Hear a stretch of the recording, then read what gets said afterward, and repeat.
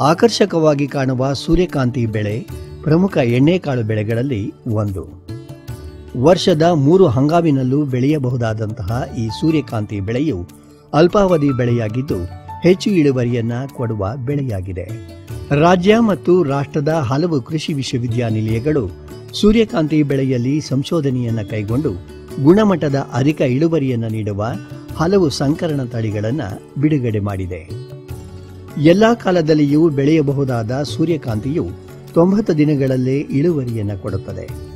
ಸೂರ್ಯಕಾಂತಿಯನ್ನ ಎಲ್ಲ ರೀತಿಯ ಭೂಮಿಯಲ್ಲಿ ಬೆಳೆಯಬಹುದಾದರೂ ಬೀಜವನ್ನ ಸಕಾಲದಲ್ಲಿ ಬಿತ್ತಬೇಕಾಗುತ್ತದೆ.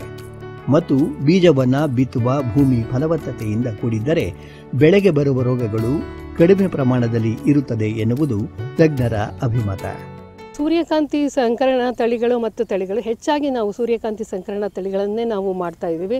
ಸೂರ್ಯಕಾಂತಿ ಸಂಕರಣ ತಳಿಗಳು ಒಳ್ಳೆಯ ಒಳ್ಳೆ ಇಳುವರಿ ಕೊಟ್ಟಿದ್ದು ಮತ್ತು ಹಾಗೂ ಒಳ್ಳೆಯ ಎಣೆಯ ಅಂಶ ಕೊಡೋದ್ರಿಂದ ಮತ್ತು ಬೇರೆ ತಳಿಗಳಿಗಿಂತ ಅದು ಹೆಚ್ಚು ಒಂದು ಇಪ್ಪತ್ತರಿಂದ ಮೂವತ್ತು ಪರ್ಸೆಂಟು ಜಾಸ್ತಿ ಇಳುವರಿ ಕೊಡೋದ್ರಿಂದ ನಾವು ಸಂಕರಣ ತಳಿಗಳನ್ನು ಮಾಡಬೇಕು ಮತ್ತು ಅದರಿಂದ ಹೆಚ್ಚಾಗಿ ರೈತರಿಗೂ ಉಪಯೋಗ ನಾವು ಚೆನ್ನಾಗಿ ಬೆಳೆದರೆ ಇದು ಬರೀ ಮೂರು ತಿಂಗಳ ಬೆಳೆ ಒಂದು ತೊಂಬತ್ತರಿಂದ ನೂರು ದಿನಗಳ ಅವಧಿಯಲ್ಲಿ ಬೆಳೆಯುವಂಥ ಬೆಳೆ. ಇದು ಬಿತ್ತನೆಗೆ ಬಂತಂದರೆ ಬಿತ್ತನೆ ಒಳ್ಳೆ ಪ್ರಮಾಣದ, ಒಳ್ಳೆ ಗುಣಮಟ್ಟದ ಬಿತ್ತನೆ ಬೀಜಗಳನ್ನು ರೈತರು ಉಪಯೋಗಿಸ್ಬೇಕಾಗಿದೆ. ಅಂದರೆ ಬಿತ್ತನೆ ಬೀಜ ಯಾವ ಥರ ಇರಬೇಕು ಅಂತಂದರೆ ನಾವು ಒಂದು ಕೆ ಜಿ ಒಂದು ಎಕರೆಗೆ ಎರಡು ಕೆ ಜಿ ಬಿತ್ತನೆ ಬೀಜನ ಉಪಯೋಗಿಸ್ಬೇಕಾಗುತ್ತದೆ. ಮತ್ತು ಸಾಲಿನಿಂದ ಸಾಲಿಗೆ ಅರವತ್ತರಿಂದ ಮೂವತ್ತು ಅಂತರದಲ್ಲಿ ಅರವತ್ತು ಅಂದರೆ ಅರವತ್ತು ಸೆಂಟಿಮೀಟರು ಎರಡು ಅಡಿ ಮತ್ತು ಒಂದು ಅಡಿ ಒಂದು ಗಿಡಕ್ಕೂ ಇನ್ನೊಂದು ಗಿಡಕ್ಕೂ ಒಂದು ಅಡಿ. ಮತ್ತು ನಾವು ಬಿತ್ತನೆ ಬೀಜನ ಉಪಯೋಗಿಸ್ಬೇಕಾದ್ರೆ ಒಂದೊಂದು ಗುಣಿಗೆ ಎರಡೆರಡು ಬಿತ್ತನೆ ಬೀಜನ ಉಪಯೋಗಿಸ್ಬೇಕಾಗತ್ತೆ. ಆಮೇಲಿಂದ ಒಂದು ಒಂದು ಹತ್ತು, ಹದಿನೈದು ದಿವಸದಲ್ಲಿ ಒಂದೊಂದೇ ಗಿಡಗಳನ್ನು ಒಂದೊಂದು ಗುಣಿಗೆ ಬಿಡಬೇಕಾಗುತ್ತದೆ. ಸೂರ್ಯಕಾಂತಿದು ಏನು ವಿಶೇಷತೆ ಅಂತಂದರೆ ಎಲ್ಲ ಕಾಲದಲ್ಲಿಯೂ ಬೆಳಿಬಹುದು. ಇದು ಬೇಸಿಗೆನಲ್ಲಿ ಬೆಳಿಬಹುದು, ಮುಂಗಾರಿನಲ್ಲಿ ಬೆಳಿಬೋದು ಹಿಂಗಾರಿನಲ್ಲಿ ಬೆಳಿಬೋದು ತೊಂಬತ್ತರಿಂದ ನೂರು ದಿನಗಳ ಅವಧಿಯಲ್ಲಿ ಬೆಳ್ಕೋಬೋದು. ಮತ್ತು ಮಣ್ಣು ಅಂತಂದರೆ ಕೆಂಪು ಮಣ್ಣಿನಲ್ಲಿ ಚೆನ್ನಾಗಿ ಬಸಿದು ಹೋಗುವ ಮಣ್ಣಿರಬೇಕು. ಮತ್ತು ಕಪ್ಪು ಮಣ್ಣಿನಲ್ಲೂ ಸಹ ಚೆನ್ನಾಗಿ ಬರುತ್ತೆ. ಮತ್ತು ಇದು ಜೌಗು ಪ್ರದೇಶಗಳಲ್ಲಿ ಚೆನ್ನಾಗಿ ಬಿಡೋ, ಬರೋದಿಲ್ಲ. ಅದಕ್ಕೆ ಅಂಥ ಕಡೆ, ಅಂಥ ಕಡೆಯಲ್ಲಿ ರೈತರು ಈ ಒಂದು ಬೆಳೆನ ತಗೋಬಾರ್ದು. ಇನ್ನು ಎಲ್ಲ ಮಣ್ಣುಗಳಲ್ಲೂ ಚೆನ್ನಾಗಿ ಬೆಳೆಯೋದರಿಂದ ಇದು ಮೂರು ಸೀಸನ್ನು, ಅಂದರೆ ಮೂರು ಕಾಲದಲ್ಲೂ ಬೆಳೆಯೋದ್ರಿಂದ ಇದು ಯಾವಾಗ ಬೇಕಾದ್ರೂ ನಾವು ರೈತರು ಇದನ್ನು ಅಳವಡಿಸ್ಕೋಬೋದು ಅಥವಾ ಬೆಳೆಯೋದಕ್ಕೆ ಬೆಳೆಯಬೋದು. ಇನ್ನು ಮ, ನಾವು ಯಾವ ಥರ ಭೂಮಿನ ಬಿತ್ತನೆಗೆ ತಯಾರಿ ಮಾಡ್ಕೋಬೇಕು ಅಂತಂದರೆ ಎರಡರಿಂದ ಮೂರು ಟನ್ನು ಕೊಟ್ಟಿಗೆ ಗೊಬ್ಬರನ ಒಂದು ಎಕರೆಗೆ ಹಾಕಬೇಕು. ಆಮೇಲಿಂದ ನಾವು ಶಿಫಾರಸು ಮಾಡಿರೋ ಗೊಬ್ಬರನ ನಾವು ಕೊಡಬೇಕಾಗತ್ತದೆ ಬಿತ್ತನೆ ಇದರೊಳಗೆ ಮತ್ತು ಬಿತ್ತನೆ ಸಮಯದಲ್ಲಿ ಬೀಜೋಪಚಾರ ಮಾಡಬೇಕಾಗುತ್ತದೆ. ಬೀಜೋಪಚಾರ ಯಾಕೆ ಮಾಡಬೇಕು ಅಂತಂದರೆ ಇದಕ್ಕೆ ಬಂದಿರೋ ಒಂದು ರೋಗ ಆಗಲಿ, ರೋಗ ರುಜಿನ ಮತ್ತು ಮತ್ತು ಅವನ್ನ ತಡೆಯೋಕ್ಕೋಸ್ಕರ ತೈರಾಮ್ ಅಂತ ಒಂದು ಎರಡು ಗ್ರಾಮಷ್ಟು ಒಂದು ಕೆ ಜಿಗೆ ಅದು ಮೆಟಲಾಕ್ಸಿಲ್ ಅನ್ನೋದು ಒಂದು ಬೂದಿ ರೋಗ ನಿವಾರಣೆ ಹೊಂದಿರುವಂಥದ್ದು ಒಂದು ಎರಡು ಗ್ರಾಮ್ ಒಂದು ಕೆ ಜಿಗೆ ಮತ್ತು ಒಂದು ಗೌಚ್ ಅಂತ ಒಂದು ಐದು ಗ್ರಾಮ್ ಒಂದು ಕೆ ಜಿಗೆ ಈ ಬೀಜೋಪಚಾರ ಮಾಡೋದ್ರಿಂದ ನಂಜು ರೋಗ ನಿವಾರಣೆಯನ್ನು ನಾವು ಒಂದು ಸ್ವಲ್ಪ ಮಟ್ಟದಲ್ಲಿ ನಾವು ತಡೆಗಟ್ಟಬಹುದು. ಬೀಜೋಪಚಾರ ಮಾಡದಲ್ಲಿ ನಾವು ಇದನ್ನು ತಗೊಳೋದಕ್ಕೆ ಕಷ್ಟ ಇದಾಗುತ್ತದೆ. ಮತ್ತು ಈಗ ನಾವು ಇನ್ನು ಮುಂದೆ ನಾವು ಇದು ಮಾಡ್ಕೋಬೇಕು ಅಂತಂದರೆ ನೆಕ್ಸ್ಟು ಬಿತ್ತನೆ ಆದಮೇಲೆ ನಾವು ಯಾವ ಥರ ನೋಡ್ಕೋಬೇಕು ಅಂತಂದರೆ ಒಂದೊಂದೇ ಗಿಡಗಳು ಒಂದು ಗುಣಿಗೆ ಒಂದೊಂದೇ ಗುಣಿಗೆ ಇದು ಗಿಡಗಳನ್ನು ಬಿಡಬೇಕು. ಆಮೇಲೆ ಮೂವತ್ತರಿಂದ ಮೂವತ್ತೈದು ದಿನಕ್ಕೆ ಅದನ್ನು ಏರು ಗೊಬ್ಬರ ಹಾಕಬೇಕಾಗತ್ತೆ. ಮತ್ತು ಶಿಫಾರಸು ಮಾಡಿದ ಗೊಬ್ಬರಗಳನ್ನು ಒಂದು ಎಕರೆಗೆ ಒಂದು ನೀರಾವರಿನಲ್ಲಿ ಅಂದರೆ ಮೂವತ್ತಾರು ಮೂವತ್ತಾರು, ಇಪ್ಪತ್ತೈದು ಸಾರಜನಕ ರಂಜಕ ಪೊಟ್ಯಾಶ್ ಕೊಡಬೇಕಾಗತ್ತೆ. ಮತ್ತು ಒಂದು ಖುಷ್ಕಿನಲ್ಲಾದರೆ ಹದಿನೈದು, ಇಪ್ಪತ್ತು, ಹದಿನೈದು ಸಾರಜನಕ ಪೊಟ್ಯಾಶು ರಂಜಕ ಕೊಡಬೇಕಾಗುತ್ತದೆ. ಸಾರಜನಕನ ಐವತ್ತು ಪರ್ಸೆಂಟ್ ಅಷ್ಟೇ ಕೊಡಬೇಕು ನಾವು ಬಿತ್ತನೆ ಮಾಡಬೇಕಾದ್ರೆ. ಮತ್ತು ಐವತ್ತು ಪರ್ಸೆಂಟ್ನ ನಾವು ಎರಡೂ ಕಡೆ ಮಣ್ಣನ್ನ ಒಂದು ತಿಂಗಳಾದಮೇಲೆ ಏರಿಸ್ತಾ ಹೋದಾಗ ಆವಾಗ ನಾವು ಇನ್ನು ಮೆಕ್ಕಿದ್ದು ಐವತ್ತು ಪರ್ಸೆಂಟು ನಾವು ಇದು ರ, ಸಾರಜನಕನ ಕೊಡಬೇಕಾಗುತ್ತದೆ ಮೇಲುಗೊಬ್ಬರವಾಗಿ.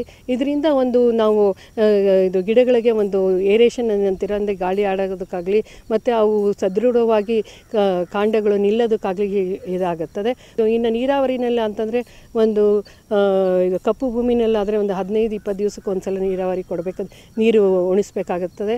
ಈ ಕೆಂಪು ಭೂಮಿನಲ್ಲಾದರೆ ಒಂದು ಎಂಟರಿಂದ ಹತ್ತು ದಿವಸಕ್ಕೆ ಒಂದು ಸಲ ನೀರು ಕೊಡಬೇಕಾಗುತ್ತದೆ. ಅತಿ ಮುಖ್ಯವಾದ ಮೂರು ಹಂತಗಳಿದ್ದಾವೆ ನಾವು ಸೂರ್ಯಕಾಂತಿನಲ್ಲಿ. ಒಂದು ಸೂರ್ಯಕಾಂತಿನಲ್ಲಿ ಒಂದು ಒಂದು ತೆನೆಗೆ, ಅಂದರೆ ಹೂವು ಬಿಡುವ ಹಂತ. ಆಮೇಲಿಂದ ತೆನೆ ಕಟ್ಟುವ ಹಂತ ಮತ್ತು ಇದು ಆ ಹಂತದಲ್ಲಿ ನಾವು ಒಂದು ಒಂದು ತಿಂಗಳಾದಮೇಲೆ ಅದು ಅದು ಆವಾಗ ನಾವು ಚೆನ್ನಾಗಿ ನೀರು ಕೊಡಬೇಕಾಗತ್ತೆ. ಮತ್ತು ಹೂವು ಬಿಡೋ ಹಂತದಲ್ಲೂ ಸಹ ನಾವು ಒಂದು ಸಲ ಚೆನ್ನಾಗಿ ನೀರು ಕೊಡಬೇಕು. ಮತ್ತು ತೆನೆ ಕಟ್ಟುವಾಗ ತೆನೆ ಕಟ್ಟುವಾಗ ಅಂತಂದರೆ ಬೀಜ ಕಟ್ಟಬೇಕಾದ್ರೆ ಸಹ ನಾವು ಅರವತ್ತರಿಂದ ಅರವತ್ತೈದು ದಿನಗಳಲ್ಲಿ ಅದು ಸಾಮಾನ್ಯವಾಗಿ ಐವತ್ತೈದರಿಂದ ಅರವತ್ತೈದು ದಿನಗಳಲ್ಲಿ ಹೂವು ಬರುತ್ತೆ. ಹೂವು ಅಂದರೆ ಅಲ್ಪಾವಧಿ ತಳಿಗಳಲ್ಲಿ ಐವತ್ತದ ಐವತ್ತನೇ ದಿನದಿಂದನೇ ಸ್ಟಾರ್ಟ್ ಆಗೋಗುತ್ತೆ. ಇಲ್ಲ ಅಂತಂದರೆ ಸ್ವಲ್ಪ ದೀರ್ಘಾವಧಿ ತಳಿಗಳಲ್ಲಾದರೆ ಐವತ್ತೈದರಿಂದ ಅರವತ್ತೈದು ದಿನಗಳಲ್ಲಿ ಅದು ಹೂ ಬಿಡೋಕ್ಕೆ ಸ್ಟಾರ್ಟ್ ಆಗುತ್ತೆ. ಆಮೇಲಿಂದ ನಾವು ಅದು ತೆನೆಗಟ್ಟಬೇಕಾದ್ರೆ ಸಹ ನಾವು ಮೂರು ಹಂತದಲ್ಲಿ ನಾವು ನೀರು ಕೊಡಬೇಕಾಗತ್ತೆ. ಇನ್ನು ಸಸ್ಯ ಸಂರಕ್ಷಣಾ ಇದು ಅಂತಂದರೆ ನಾವು ಕಾನ್ಫಿಡಾರ್ ಅನ್ನೋದೊಂದು ಇದು ನಂಜು ರೋಗಕ್ಕೆ ಅತಿಯಾಗಿ ಬರೋದು ನಮ್ಮ ಕರ್ನಾಟಕ ರಾಜ್ಯದಲ್ಲಿ ನಂಜು ರೋಗ ಬರುತ್ತದೆ. ಅದನ್ನು ನೆಕ್ರೋಸಿಸ್ ಅಂತ ಹೇಳ್ತೀವಿ. ಅದು ಒಂದು ಸ್ವಚ್ಛತೆಯನ್ನು ನಾವು ಕಾಪಾಡ್ಕೊಂಬರ್ಬೇಕಾಗತ್ತದೆ ಎಲ್ಲೂ ಕಾಂಗ್ರೆಸ್ ಗಿಡಗಳು ಮತ್ತು ಕಳೆಗಳು ಇಲ್ದಂಗೆ ಇಲ್ಲ ಥರ ನೋಡ್ಕೋಬೇಕಾಗತ್ತೆ. ಅದರೊಳಗಿರೋ ಪದತಂತ್ರ ಜೀವಿಗಿಂದ ಇದು ನಂಜು ರೋಗ ಬರೋದರಿಂದ ನೆಂಕ ನೆಕ್ರೋಸಿಸ್ ರೋಗ ಬರೋದರಿಂದ ಅದನ್ನು ನೋಡ್ಕೋಬೇಕು. ಇಲ್ಲಾಂದರೆ ಕಾನ್ಫಿಡಾರ್ನ ನಾವು ಒಂದು ಫೈವ್ ಎಂ ಎಲ್ ಪರ್ ಲೀಟರ್ಗೆ ಹೊಡೆದು ಹಾಕ್ಕೊಂಡು ಒಂದು ಇಪ್ಪತ್ತು ಲೀಟ್ರ್ ಒಂದು ಎಕರೆಗೆ ಅಂತ ನಾವು ಸಿಂಪರಣೆ ಮಾಡಬೇಕಾಗುತ್ತದೆ. ಸಿಂಪರಣೆ ಮಾಡಬೇಕಾದ್ರೆ ಹೂವಿನ ಸ್ಟೇಜ್ನಲ್ಲಿದ್ದಾಗ ನಾವು ಸಿಂಪರಣೆ ಮಾಡಬಾರ್ದು. ಯಾಕೆಂದರೆ ದುಂಬಿಗಳು ಪರಾಗಸ್ಪರ್ಶ ಮಾಡ್ತಾ ಇರುತ್ತೆ.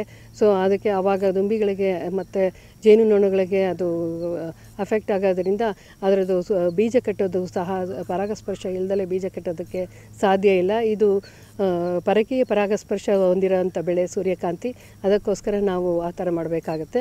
ಇನ್ನು ಕೊಯ್ಲಿಗೆ ಬಂದಂದರೆ ಒಂದು ತೊಂಬತ್ತು ದಿವಸದಲ್ಲಿ ಎಲ್ಲ ಸಾಮಾನ್ಯವಾಗಿ ತೊಂಬತ್ತರಿಂದ ತೊಂಬತ್ತೈದು ದಿವಸದಕ್ಕೆ ಅವು ಒಂದು ತೆನೆ ಕೊಯ್ಯುವ ಒಂದು ಹಂತಕ್ಕೆ ಬರುತ್ತೆ.